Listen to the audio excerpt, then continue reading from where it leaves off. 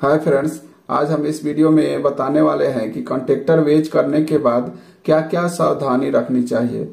हमारे लोगों में कितने कंप्रेसर कॉन्ट्रेक्टर है और कितने कॉन्ट्रेक्टर मैक्सिमम वेज कर सकते हैं? और ब्लोअर कॉन्ट्रेक्टर्स कितने हैं? और आप ब्लोअर कॉन्ट्रेक्टर को वेज करते हैं तो क्या क्या सावधानी रखनी चाहिए?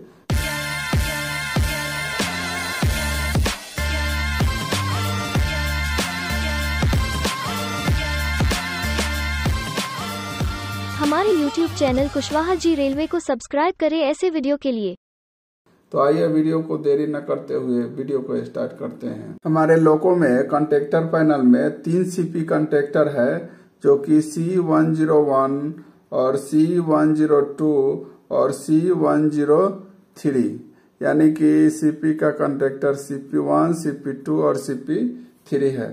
तो इसमें मैक्सिमम टू कॉन्ट्रेक्टर ही वेज कर सकते हैं। कोई भी दो कंट्रेक्टर वेज कर सकते हैं। जब कंट्रेक्टर क्लोज नहीं हो रहा है तो। दो कंट्रेक्टर वेज करने से हमारे लोगों में प्रेशर बराबर मेंटेन होता रहेगा और आप गाड़ी काम कर सकते हैं। लेकिन यदि कोई भी कंट्रेक्टर वेज कर रहे हैं तो पहले मालूम कर लेना ज़रूरी है कि हमारे लोगों का एस एस टू बराबर काम कर रहा है या नहीं? एस एस टू का सेटिंग 10.5 के जी प्रति सेंटीमीटर स्क्वायर होता है। क्योंकि हमेशा लोडिंग होते रहेगा कंप्रेसर बराबर चलते रहता है इसलिए एस एस टू का वर्किंग ज़रूरी है। क्योंकि हमारे लोगों में एमर प्रेशर आठ से साढ़े नौ के जी होना चाहिए। एट के जी प्रति सेंटीमीटर स्क्वायर टू 9.5 केजी प्रति सेंटीमीटर स्क्वायर होना चाहिए। लेकिन कंप्रेसर बराबर चलता रहता है, इसीलिए हम सीडीसी के ड्रेन कॉक को थोड़ा सा ओपन करेंगे। और ये सुनिश्चित करेंगे कि हमारे लोगों में एमआर प्रेशर आठ से साढ़े नौ के जी प्रति सेंटीमीटर स्क्वायर है। और वेज करने के साथ साथ मोटर का वर्किंग भी चेक कर लेंगे। हम मालूम करते हैं हमारे कंटेक्टर पैनल में ब्लोअर्स कंटेक्टर कितने हैं?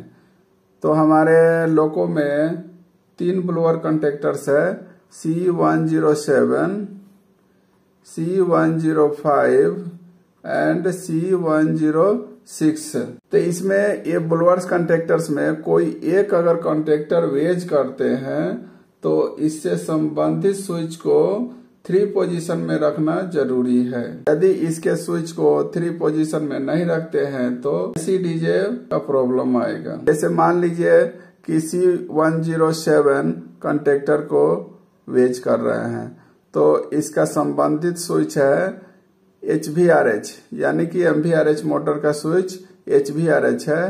तो इसके स्विच का पोजीशन थ्री में करेंगे। नहीं तो आईसीडी जो प्रॉब्लम आएगा। यदि C one zero five contractor wedge करना है तो इसका स्विच है H B M T one M B M T one का स्विच है H B M T one इसके स्विच का पोजीशन हम थ्री में करेंगे। यदि C one zero six contractor close नहीं हो रहा है तो, तो इसका स्विच है H B M T two यानी M B M T two का कंट्रेक्टर क्लोज नहीं हो रहा है तो इसके स्विच को हम थ्री में करेंगे। कोई भी स्विच का पोजीशन चेंज करते हैं तो उसके बाद हम इसके मोटर का वर्किंग चेक करेंगे क्योंकि उस समय रिले बाईपास हो जाता है थ्री पोजीशन में। इसलिए मोटर का वर्किंग बार बार बीच बीच में 10 या 15 मिनट पे चेक करते रहना ज़रूरी है। इस प्रकार हम कंट्रेक्टर वेज करने के बाद सावधानी रखेंगे। यदि हमारी जानकारी अच्छी लगे तो वीडियो को लाइक कीजिए एंड चैनल को सब्सक्राइब कीजिए। फिर मिलेंगे नेक्स्ट वीडियो में। जय हिंद।